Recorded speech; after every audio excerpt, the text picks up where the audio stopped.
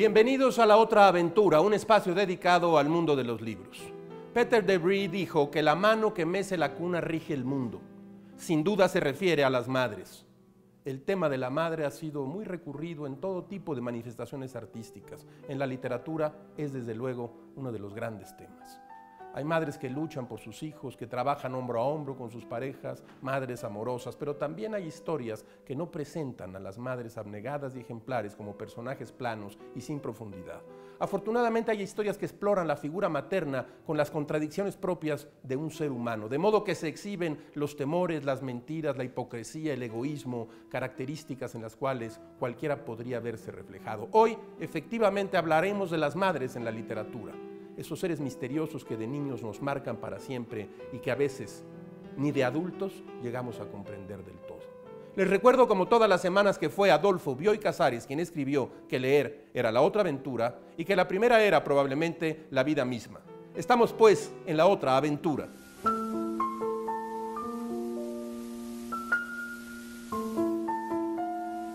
Pocos autores como Máximo Gorki tuvieron una vida tan desdichada pero al mismo tiempo tan llena de aventuras. Perdió a su padre muy pequeño y pocos años después también a su madre. Una vez solo, el abuelo no se tentó el corazón y lo corrió de la casa para que se buscara la vida. Apenas tenía 10 años.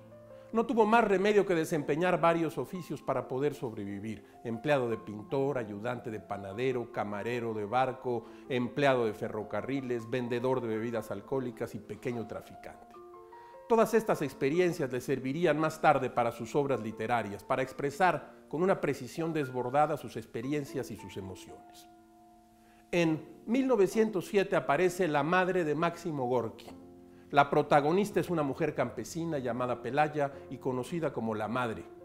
Luego de la muerte de su esposo, que solía martirizarla física y emocionalmente, Pelaya se dedica a cuidar de su hogar y de su hijo. Un día descubre que su hijo es el líder socialista en la fábrica donde trabaja. Aunque al principio demuestra un firme rechazo por la actividad de su hijo, poco a poco se involucra en las reuniones, escucha razones y argumentos y termina por apoyar tanto a su hijo como a sus compañeros. De ahí su apodo pues se convierte en una especie de madre para todos ellos. Un buen día, su hijo es arrestado por sus actividades políticas y entonces la madre deja de ser una simple espectadora y se convierte en una activista que reparte propaganda y transmite la ideología socialista. Gorky mezcló sus propias experiencias como luchador social con acontecimientos reales, como la manifestación obrera del 1 de mayo celebrada en Sormovo en 1902 y las actividades del Partido Revolucionario en esa ciudad. La toma de conciencia de la madre es narrada con cuidado y sin grandilocuencias, y aunque el final no es muy claro, la madre termina dando todo por su hijo, por sus hijos adoptivos y por mejores condiciones para los obreros, de los cuales también fue una madre. Las madres suelen ser las depositarias de las tradiciones y en muchas ocasiones más estrictas con el cumplimiento de ciertas obligaciones. Justo eso sucede con la obra de teatro La Casa de Bernarda Alba de Federico García Lorca. Esta obra de personajes femeninos expone las terribles relaciones que pueden surgir a partir de una madre que ha decidido imponer un riguroso luto de 8 años, luego de haber enviudado a los 70 años por segunda vez. En su casa viven sus cinco hijas, la abuela encerrada casi permanentemente en un cuarto y una sirvienta que ha vivido muchos años, quizá demasiados, al servicio de doña Bernarda. El encierro al que los obliga su madre provoca que las hijas Angustias, Magdalena, Amelia, Martirio y Adela se enemisten por los novios, por la herencia, por pequeñeces. Las supuestas buenas costumbres que de por sí azoran al pueblo aunado a la rigidez absurda de doña Bernarda no pueden tener otro desenlace que la desgracia.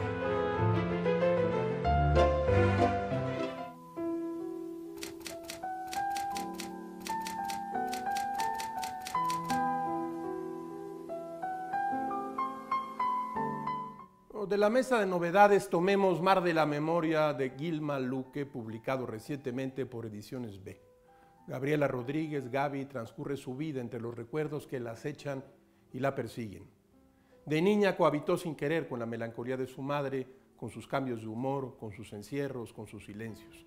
La narración inicia con una niña que se convierte en la sombra de su madre. como si se sintiera empujada a protegerla. En la segunda parte, la niña, ahora adulta, lucha contra sus propios demonios, muchos de ellos heredados. Poco a poco descubrimos lo sucedido, el verdadero abandono a la que fue sometida, la única salida que no fue, el abatimiento de un mundo que parece ajeno de tan conocido. Al final, hija y madre no son tan distintas. De Tumbona Ediciones llega un nuevo ensayo versus Round 15, El arte contemporáneo, de Javier Toscana. El problema ya no es encontrarse un mingitorio o una lata Campbell's en la sala de un museo y confundirlas con basura. La cuestión es que el mingitorio y la lata son síntomas de un simulacro del que cada vez parece más difícil sustraernos. Javier Toscano, El arte contemporáneo. Editorial Anagrama ha publicado recientemente El mundo deslumbrante de Siri Urzbet. Harriet Burden fue una personalidad enigmática del arte neoyorquino de los años 80 y ahora, años después de su muerte, su figura es objeto de una indagación académica. Una novela de Sadie Utzbet.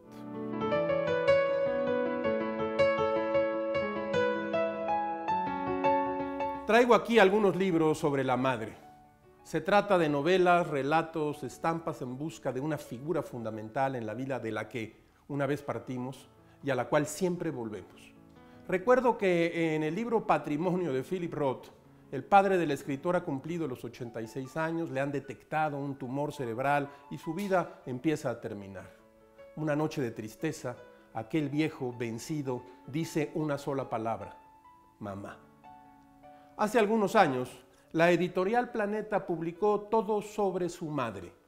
Un grupo de escritores mexicanos ensayan eh, recuerdos, cuentos, memorias de la madre. Joaquín Blanco, Álvaro Enrique, Vicente Leñero, Héctor de Mauleón, Fabricio Mejía, Eduardo Antonio Parra, Martín Solares, Alberto y Álvaro Uribe, Javier Velasco, Heriberto Yepes. Leo esto en el texto de De Mauleón.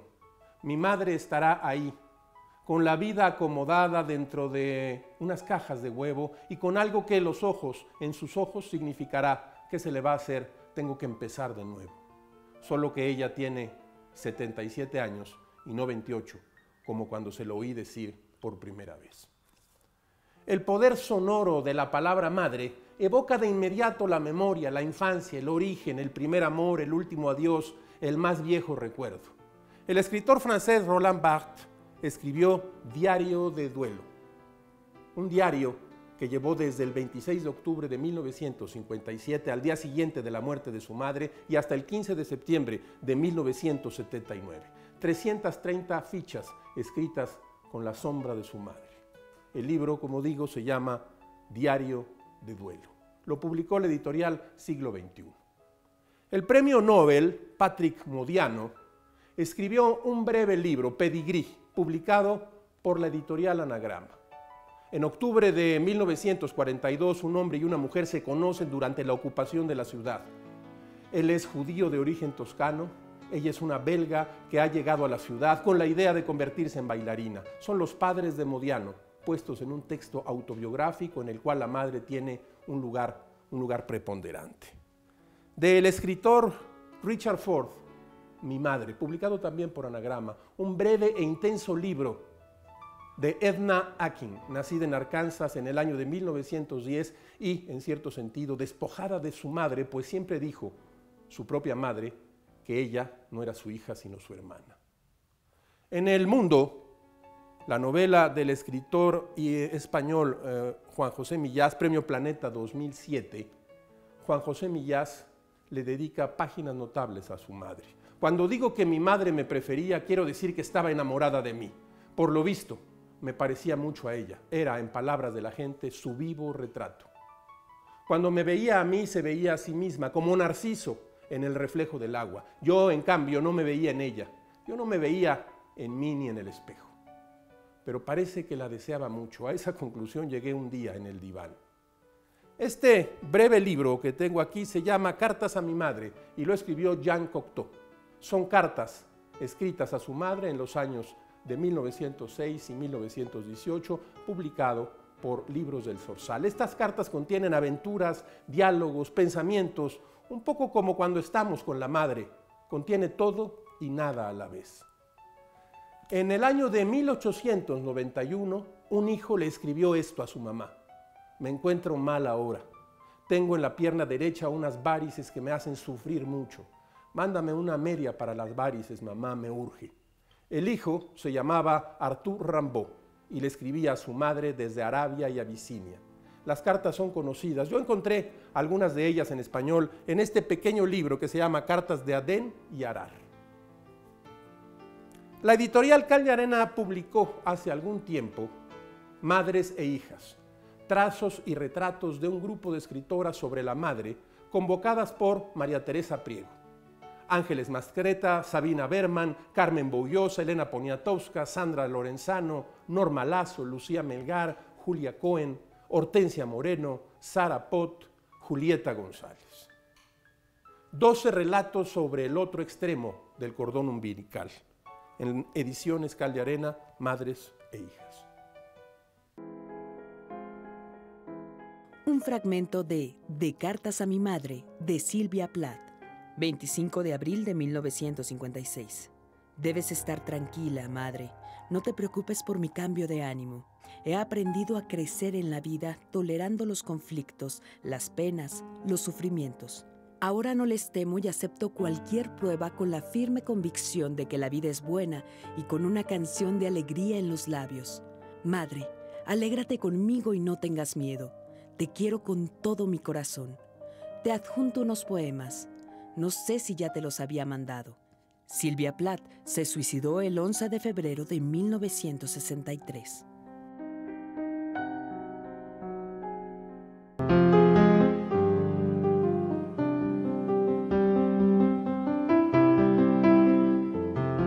El público encontrará en esta ventana un escenario por el que pasan como ráfagas la felicidad y la desdicha de escribir, cajes del oficio, aforismos, frases, máximas. El niño reconoce a la madre por la sonrisa. Tolstoy. Llegamos al final de esta emisión y esta aventura. Soy Rafael Pérez Gay y los espero la próxima semana. Abres una puerta y detrás de ella aparece un mundo. Eso, eso es un libro.